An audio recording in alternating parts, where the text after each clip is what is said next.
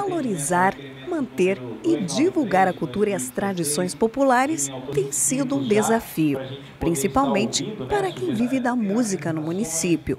Um grupo de artistas locais e representantes de setores participaram de uma audiência pública proposta pelo vereador Luiz Queiroga para discutir as dificuldades enfrentadas pela categoria. Receber a opinião, sugestões dessas pessoas que estão inseridos dentro da música para que a gente possa transformar essas opiniões em, em, em, também em análise com a questão legal em políticas públicas e poder dar esse apoio do município para eles e o município poder também é, é, aproveitar esses talentos que nós temos. Com mais de 35 anos de carreira, este músico fala da necessidade de apoio para os artistas desenvolverem seus trabalhos. Eu acho que o mais importante de tudo é a união dos músicos para a gente apresentar as propostas culturais para o município e que a gente possa ter o apoio do município para poder desenvolver nossa tarefa. Né?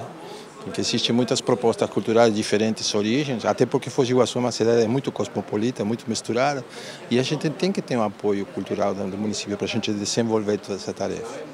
O maestro Naor Gomes, que atuou no coral da Fundação Municipal por 12 anos, disse que reacender o debate com os principais interessados representa um avanço significativo. Desde há vários anos nós tínhamos coro, orquestra e banda.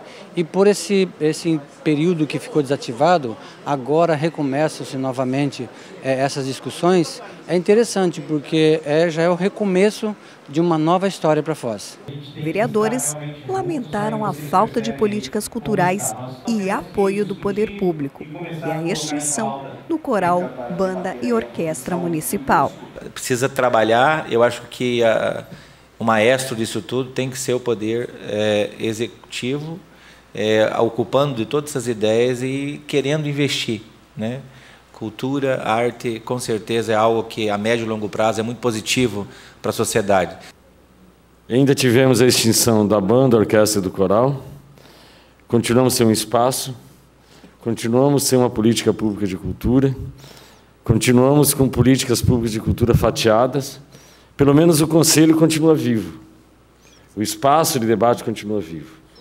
Sobreviveu a isso tudo e tem que continuar fazendo. E nós temos que imaginar que esse tempo e essa luta é uma luta longa. Roberto Vieira, presidente do Conselho Municipal de Políticas Culturais, disse que a falta de incentivo e investimentos na cultura local é realmente uma situação preocupante. Lembrando o, os vereadores, principalmente o Queiroga que propôs isso, que realmente, Queiroga, a nossa situação cultural no município é muito complicada. E lembrar que a gente precisa, né, não só na área de música, mas em todas as áreas da cultura, e sabermos que Foz do Iguaçu é sim uma cidade que tem muita, muita plateia. O vereador Luiz Queiroga se comprometeu com os participantes em buscar medidas através do Legislativo para a regulamentação profissional, alvarás e estímulo à cultura local. Vai haver agora, a partir de agora, um maior estreitamento nosso com relação a, a vocês, com relação a essa associação que já está andando e também essa inclusão de todos vocês, né, Bugrinho?